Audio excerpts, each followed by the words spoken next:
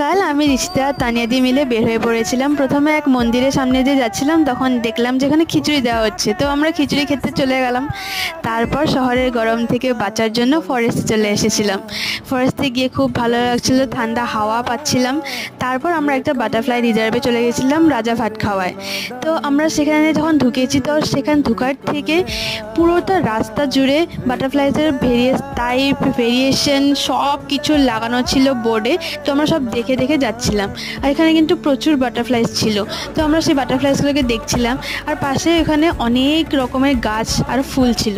তো আমরা সেখানেও গেছিলাম। তো ফুলের গাছের উপর দিক দিয়েও কিন্তু অনেক বাটারফ্লাইস ঘোরাঘুরি করছিল। তারপর আমরা একটা লোকেশনে গেলাম, যেখানে একটা আঙ্কেল আমাদেরকে বোঝাচ্ছিল যে কীভাবে বাটারফ্লাইসগুলো ইভলভ আর ইভলিউশন হয়।